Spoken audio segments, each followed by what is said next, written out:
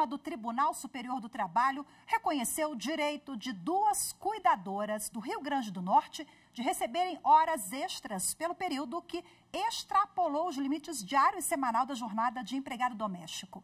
O entendimento de que cabia a elas comprovar a jornada extraordinária foi afastado pela turma, que declarou que a obrigação de controle de horários é do empregador. Daniel Vasques.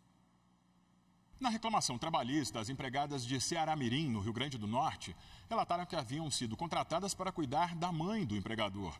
De acordo com as cuidadoras, elas se revezavam em turnos de 24 e 48 horas e por isso pediram o pagamento de horas extras.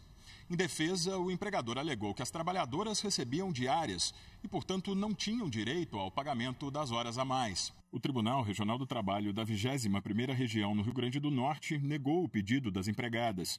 Segundo a sentença, as cuidadoras não trabalhavam por 24 horas consecutivas, além de dormirem no local de trabalho. O regime presumido pelo regional foi o de 12 por 36.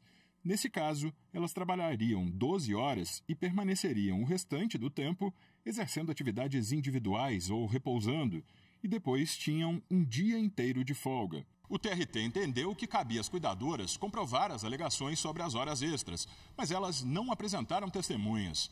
O acórdão do regional apontou que elas ficaram inertes e preferiram aventurar-se na demanda trabalhista sem nada provar. As cuidadoras recorreram ao TST. O relator na sexta turma, desembargador convocado José Pedro de Camargo, apontou que o regional foi categórico ao reconhecer que as cuidadoras exerciam jornada de 12 por 36 e que elas ficavam à disposição e pernoitavam no local de trabalho. Por outro lado, não faz menção a nenhum documento apresentado pelo empregador para comprovar a adoção desse regime ou de controle de jornada.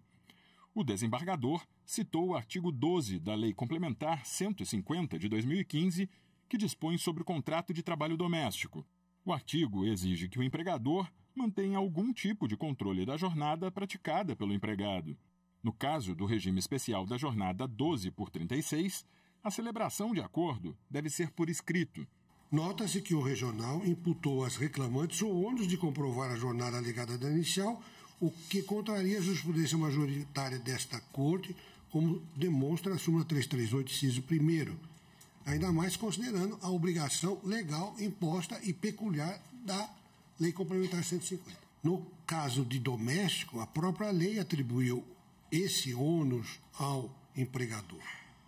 Em síntese, os recorridos não se desincumbiram do ônus que lhes cabia, presumindo-se verdadeira jornada alegada pelos reclamantes, na inicial, sendo devido o pagamento das horas que extrapolam o limite diário e semanal, com acréscimo de 50%. Assim, por unanimidade, a sexta turma do TST reconheceu o direito das duas cuidadoras de receberem as horas extras. O caso transitou em julgado e não cabe mais recurso.